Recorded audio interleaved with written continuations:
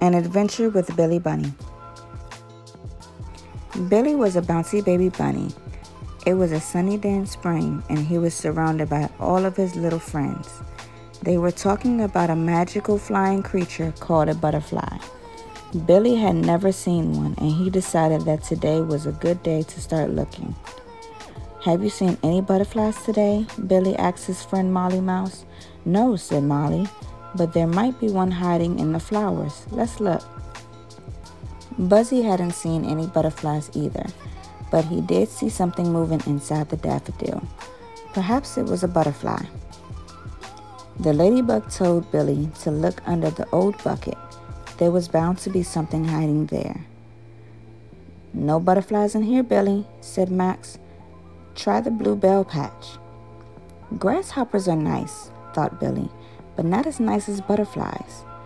So he looked under a water lily to see if there was a butterfly hiding there. Hoppy said it was silly to look for butterflies, but he thought they might be hiding in the sweet briar bush. Perhaps I'll never find a butterfly, thought Billy sadly, as he sat down on his favorite tree stump. Soon he had fallen fast asleep he awoke to a tickly feeling on the end of his nose. What could it be?